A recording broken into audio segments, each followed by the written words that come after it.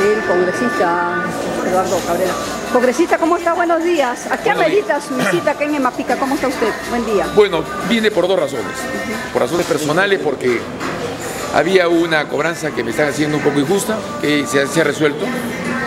Y por otro lado, lógicamente, también he hablado con gente acá de Emapica para saber exactamente la situación que tienen acerca de agua. Y me acabo de dar con la grata sorpresa de que existen 22 pozos tubulares, que el agua no tiene condiciones nocivas, sino todo lo contrario, son buenas las condiciones del agua de todos los pozos tubulares, que en realidad Ica no tiene un problema de dotación de agua, tiene un problema sencillamente de cañerías, de ductos, para poder llevar el agua no solamente a quienes hoy día gozan del agua directamente, sino a nuevos, eh, nuevos asentamientos humanos. Y por otro lado, este, eh, quieren hacer quizá un reservorio o dos reservorios más, que sería perfectamente factible, pero como tú comprenderás, entonces ahora más que nunca eh, el, tengo el sustento y la razón para decir que la galería filtrante sencilla y llanamente no es que se estén mal o bien, sino que carecen de sustento y de sentido. ¿No sería Y la solución? No es la solución. La solución la- ya tienen el agua. Acá. Acá hay 22 pozos tubulares que tienen agua. Hay la dotación de agua para darle no solamente a Ica, sino poder ampliar a, a todos los asentamientos humanos que hoy día necesitan. Hay 22 pozos tubulares que tienen agua. Hay la dotación de agua para darle no solamente a Ica, sino poder ampliar a, a todos los asentamientos humanos que hoy día necesitan. Pero las empresas Y algo más. se llevan el agua, este No, no. eh, transportadoras se llevan el agua. fíjate, ve. ICA tiene, ICA tenía, las, em- las empresas, yo, acá no se trata de las empresas agroexportadoras porque a mí poco y nada interesa en este caso. Pero es que ella no utiliza En el agua realidad, de los pozos que tiene nada, ICA son suficientes para poder sencillamente surtir de agua a toda la ciudad de Ica e inclusive a otros sectores de Pero no y a nuevos asentamientos. ¿Y entonces Porque por los pozos no están bien mantenidos, porque sencillamente hay que hacerle un buen mantenimiento.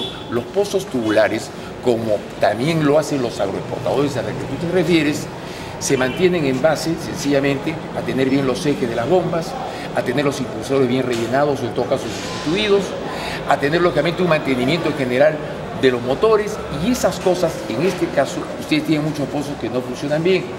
Pero aún así, tienen el agua como para surtirle de agua a toda la ciudad, inclusive a las ampliaciones que puedan hacer. Quiere decir que Lo que ocurre es, no me interrumpas, lo que ocurre es que sencillamente faltan ductos que estén en buena condición, que no haya fuga de agua para que sencillamente la gente pueda tener la cantidad y la calidad de agua que se merece. Lo que sí es verdad es que el agua de estos pozos tubulares tiene la calidad perfectamente razonable para que la gente y la población de Ica la pueda consumir. ¿Qué funcionario de Mapica ha señalado este informe congresista teniendo en cuenta que la preocupación de las autoridades municipales y regionales es la falta de agua?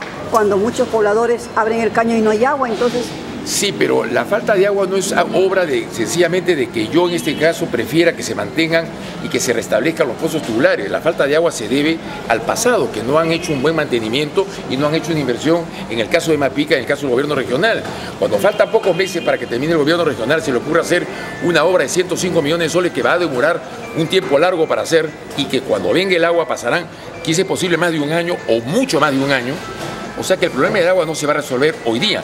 Sin embargo, si restablecen los pozos tubulares y los mantienen perfectamente bien, podrían surtir de agua antes de dos meses a la ciudad de Ica sin ningún tipo de problema. no hay problema, Y hay con agua. muy poco Señor dinero. congresista, ¿usted se ratifica que el proyecto de la galería filtrante es un gasto innecesario? Un gasto innecesario.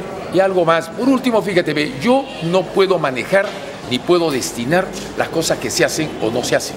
Porque finalmente yo soy un congresista de la República y fundamentalmente un congresista por Ica. Así que el gobierno regional, si quiere hacer la obra, la va a hacer. Pero eso sí te digo, va a ser un fracaso como ha sido todas las obras que está haciendo, se han hecho en los últimos años. Pero este ¿Cuál sería ha la sido solución, respaldado por el? Colegio de Ingenieros. Fíjate bien, el Colegio de Ingenieros puede haber firmado un documento, pero eso no quiere decir que sea acertado. El Colegio de Ingenieros no sé en qué condiciones ha podido avalar esa operación.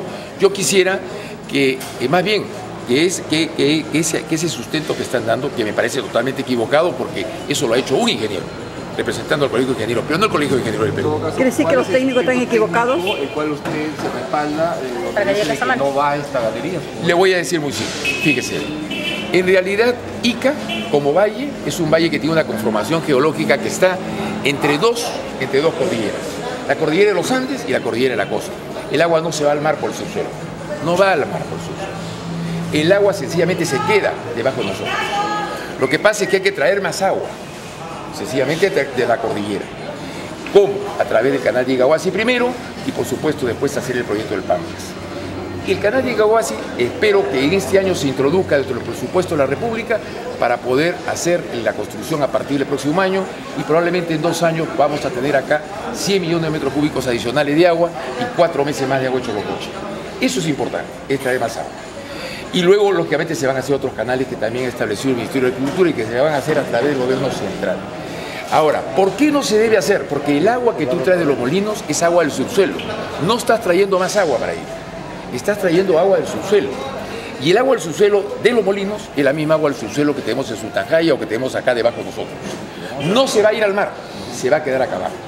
En consecuencia, tiene sentido ga- gastar 105 millones de soles en traer agua por gravedad después de varios años para finalmente surtir de agua a Ica, quitándole agua a los molinos, a los, a, la- a los parceleros que va a haber 200 parceleros que se quedarán sin agua en la época de estiaje.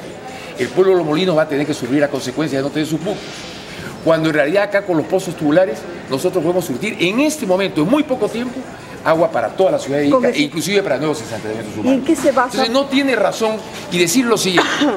Nosotros, a la hora de trabajar los 22 pozos tubulares, si pudieran trabajar los 22 pozos tubulares en forma eficiente y por postas, cuesta más o menos 150 mil soles el, el- cada pozo al año si los tienes normalmente trabajando con agua.